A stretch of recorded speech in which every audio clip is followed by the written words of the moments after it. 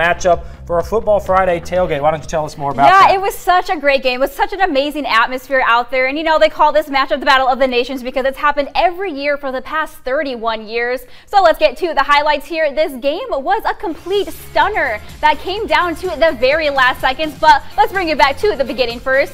Braves get the ball on the opening drive right off the bat. That's Junior Keith and Anderson with the pick that sets the Warriors up pretty nicely. And a huge crowd for the Warriors tonight. Look at all of those people there. Big game tonight.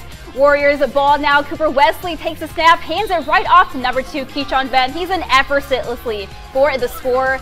And after a successful PAT, the Warriors up 7 to 0 early. Cherokee's offense back on the field now. Not sure what happened to the ball, but that's up in the air. The Warriors recover it.